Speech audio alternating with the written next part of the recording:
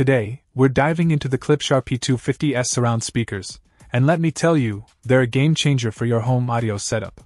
Featuring dual 1 inch linear travel suspension titanium tweeters, these speakers deliver crisp and clear high frequencies that elevate your listening experience.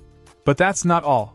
The dual 5.25 spun copper cerametallic cone woofers bring a powerful punch to the lower end, ensuring a rich and immersive sound. The 90 by 90 hybrid Tractrix horn enhances the speaker's directivity, creating a wide soundstage that truly engulfs you in the audio.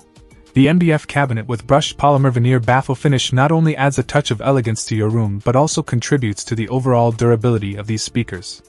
The removable grille is not just a protective feature but also a flexible one, allowing you to customize the look according to your preference.